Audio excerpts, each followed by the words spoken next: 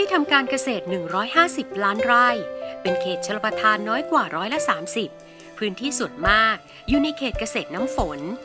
บางช่วงเวลาเกิดวิกฤตขาดแคลนน้ำพืชผลเสียหาย เกษตรกรหมดกำลังใจทำมาหากินจำเป็นต้องทิ้งนาไปใช้แรงงาน เพื่อแลกกับเงินค่าจ้างสำหรับดำรงชีวิต และส่งเสียลูกหลานเรียนหนังสือ เมื่อก่อนนะคะที่ยังบ่มีบอนะคะ เฮาสิบ่มีรายได้นะคะเมื่อก่อนเฮาเป็นหน้าทั้งหมดเลยสิมหาไรนะคะสองงาน 37 ตารางว่าเฮาสิบ่มีรายได้เข้ามาในในครอบครัวเลยนะคะก็จะมีรายได้หลักๆ ก็คือเป็นข่าวนะคะจะเป็นรายได้รายปีผลทิ้งช่วงไปติดต่อกันนะครับก็เฮ็ดให้เฮาลำบากบ่ว่าสิเป็นการปลูกพักปลูกพืชต่างๆนะครับก็แห้งตายนะครับอาหารสิให้อ่ให้ใส่น้ำในการเลี้ยงงัวเลี้ยงหมูเลี้ยงไก่นะครับ ก็ลำบากครับ ในปี 2548 กรมพัฒนาที่ดิน กระทรวงเกษตรและสหกรณ์ได้รับมอบหมายจากคณะรัฐมนตรี ให้ดำเนินการขุดสระน้ำในไร่นา เพื่อบรรเทาความเดือดร้อนของเกษตรกร โดยสนับสนุนพื้นที่ทำการเกษตรนอกเขตชลประทานบ่อจิ๋วขนาด 1,260 ลูกบาศก์เมตร ขุดในพื้นที่เกษตรกรรายแปลง เป้าหมายเพื่อกักเก็บน้ำสำหรับใช้ในฤดูแล้ง หรือฝนทิ้งช่วง เกษตรกรใช้ที่ดินปลูกพืชเลี้ยงสัตว์ ประมงได้ตลอดทั้งปี 15 ปี กรมพัฒนาที่ดินขุดสระน้ำในไร่นาเกษตรกรกว่า 5 0 0แสนราย กระจายทุกภูมิภาค เพิ่มพื้นที่กักเก็บน้ำได้ไม่น้อยกว่า 5 0 0แสนลูกบาศก์เมตร แหล่งน้ำเล็กๆ ในพื้นที่การเกษตรของตนเอง สร้างความมั่นใจ ให้กับเกษตรกรในการลงทุนเพาะปลูกพืชหมอดินอาสา ร่วมกับเจ้าหน้าที่ของกรมพัฒนาที่ดิน ประชาสัมพันธ์ และแนะนำให้เกษตรกรร่วมโครงการสาดน้ำในไร่นานอกเขตชลประทาน และเมื่อมีน้ำแล้วฟื้นฟูพื้นที่ปรุงดิน วางแผนการผลิต ตามหลักการความสอดคล้องผสมผสาน ของดิน น้ำ พืช แรงงาน และรายได้ เกษตรกรพึ่งตนเองได้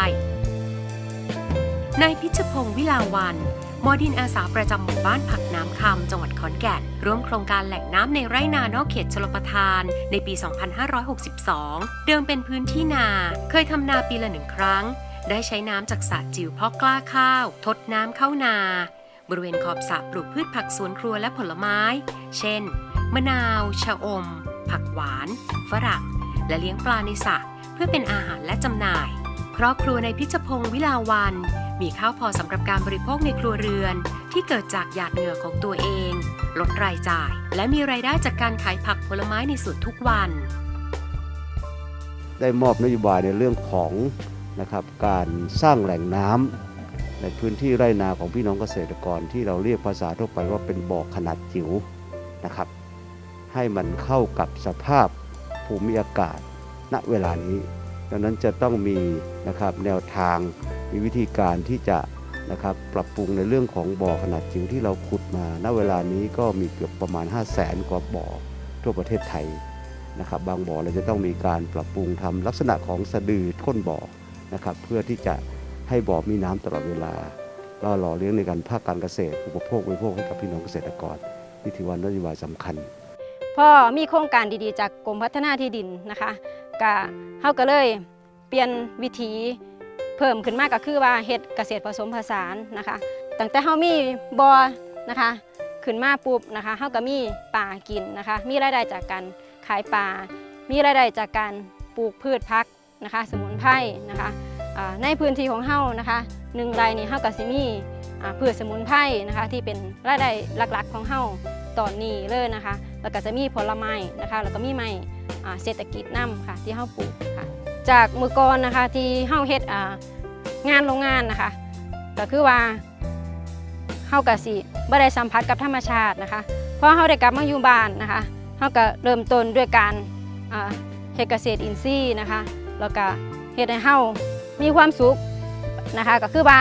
ง่ายๆก็คือธรรมชาติบำบัดนะคะซอยบำบัดทุกอย่างเลยค่ะตั้งแต่ผมได้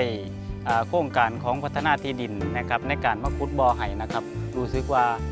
งานการผมก็ได้เฮ็ดต่อเนื่องทั้งปี ตลอดจนไม่พ้นนะครับความหลากหลายของไม่พ้นนะครับอาก็จะเริ่มเติบโต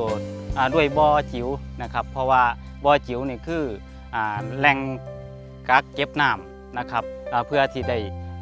ลดต้นไม้ให้เกิดความชุ่มเขียวแล้วก็มีผลผลิตให้ชีวิตของเกษตรกรดีขึ้นนะครับ